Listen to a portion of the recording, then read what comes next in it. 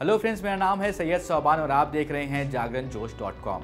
इस वीडियो में हम जानेंगे कि अंतर्राष्ट्रीय योग दिवस कब और क्यों मनाया जाता है। अंतर्राष्ट्रीय योग दिवस संपूर्ण विश्व में मनाया जाता है और इसे विश्व योग दिवस भी कहते हैं। क्या आप जानते हैं कि योग की शुरुआत कहाँ से हुई, कब हुई, इसके पीछे क्या इतिहास है?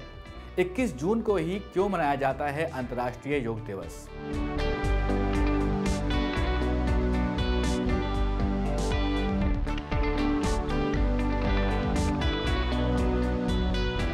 योग तन और मन से जुड़े तमाम तरह के रोग और विकारों को दूर कर मनुष्य का जीवन आसान कर देता है।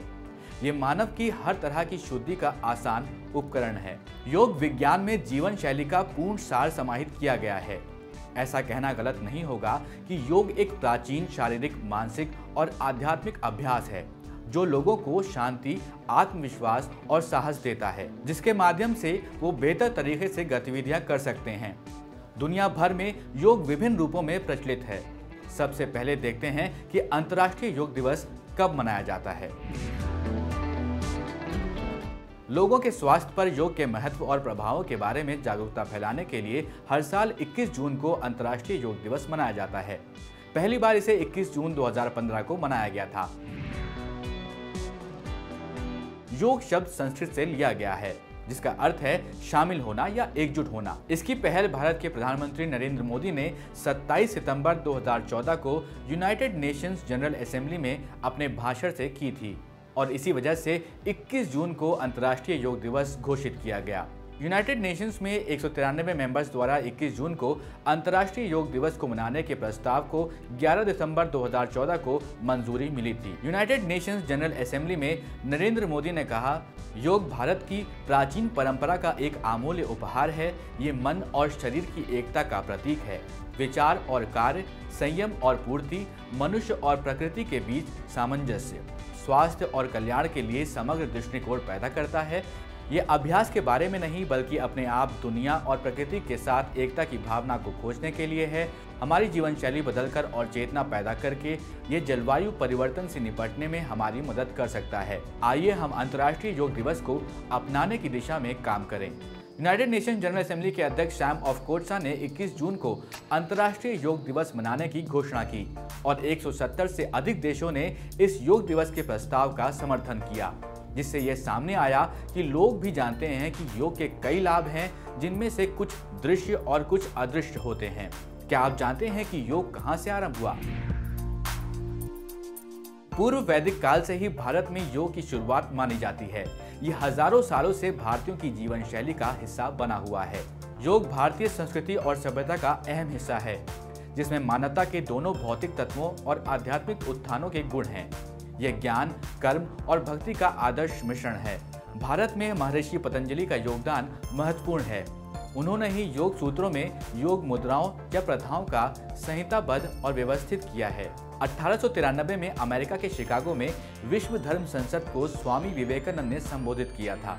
जिसमें उन्होंने उस समय के आधुनिक युग में पश्चिमी दुनिया का योग से परिचय करवाया था। उसके बाद कई पूर्व गुरुओं व योगियों ने दुनिया भर में योग का प्रसार किया और बड़े पैमाने पर लोगों ने इसको स्वीकार करना शुरू किया। यहाँ तक कि योग को एक विषय के रूप में भी अध्ययन किया जाने लगा। और फिर ये सामने आया कि योग के काफ़ी दीर्घकालिक फ़ायदे होते हैं। पिछले 50 सालों में ये एक अंतर्राष्ट्रीय घटना ही नहीं, बल्कि पूरी दुनिया के हज़ारों लाखों लोगों ने इसको अपने दिनचर्या का हिस्सा बनाया है और काफ़ी लाभ उठाए हैं।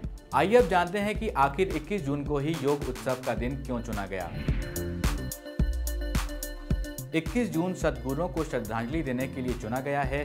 इस दिन ग्रीष्म संक्रांति होती है, जब सूर्य धरती की दृष्टि से उत्तर से दक्षिण की ओर चलना शुरू करता है, यानी सूर्य जो अब तक उत्तरी गोलार्ध में था, अब दक्षिणी गोलार्ध की तरफ़ बढ़ना शुरू हो जाता है। योग के नज़रिए से ये समय संक्रमण काल होता है, यानी रूपांतरण के लिए बेहतर समय होता है। इसीलिए 21 जून अंतर्राष्ट्रीय योग दिवस के रूप में चुना गया है। संक्रांति या उत्तरायण के समय आदि योगी ने दक्षिण की तरफ़ प्रस्थान किया और सबसे पहले उनकी नज़र सप्त ऋषियों पर पड़ी, जो कि आगे जाके इनके पहले शिष्य बने, जिन्होंने दुनिया के कई हिस्सों में योग के विज्ञान का प्रचार प्रसार किया। यह अद्भुत बात है कि 21 जून मानव के इतिहास में इस महत्वपूर्ण घटना को चिन्हित करता है। उत्तरी गोलार्ध में यह तारीख पूरे वर्ष का सबसे लंबा दिन भी है और दुनिया के कई हिस्सों में इसका विशेष महत्व है। आइए अब जानते हैं कि अंतर्राष्ट्रीय योग दिवस मनाने के पीछे क्या उद्देश्य है। लोगों को योग के फ़ायदे के बारे में जागरूक करना और उनको प्रकृति से जोड़ना, पूरे विश्व भर में स्वास्थ्य चुनौतीपूर्ण बीमारियों की दर को घटाना, पूरे विश्व में वृद्धि, विकास और शांति को फैलाना, लोगों को शारीरिक और मानसिक बीमारियों के प्रति जागरूक बनाना और योग के माध्यम से इसका समाधान उपलब्ध कराना। आइए जानते हैं कि अंतर्राष्ट्रीय योग दिवस 2019 की थीम क्या होगी।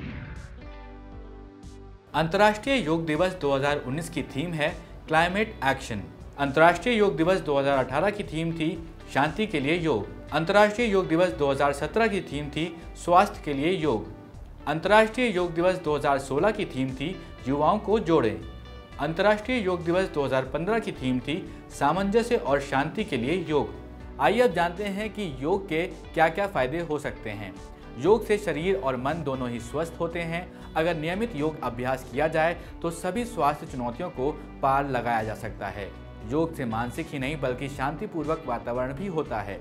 हमारी बदलती जीवन शैली के लिए भी योग करना अनिवार्य है। यह हमें जलवायु परिवर्तन से निपटने में मदद कर सकता है। योग से शरीर में लचीलापन और मांसपेशियों में ताकत आती है।